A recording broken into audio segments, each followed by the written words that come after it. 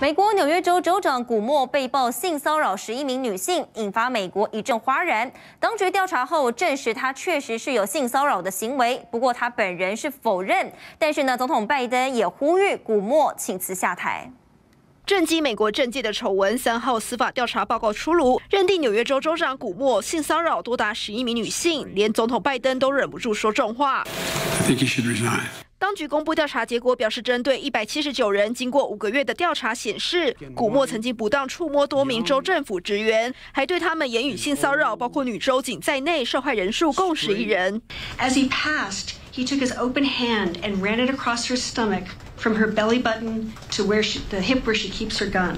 检察官更形容整个工作环境就是有毒的，没有人敢拒绝古默。It was a culture where you could not say no to the governor.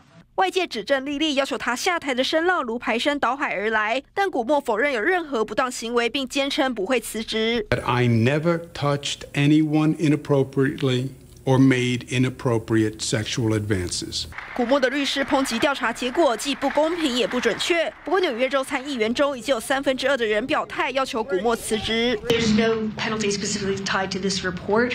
Um, the women can decide. Some of the women can decide themselves if they want to bring a civil action. 古默曾因为积极对抗疫情而获得全美赞赏，但如今连议员都开始准备弹劾他，恐怕他的乌纱帽是岌岌可危。记者刘玉洲报道。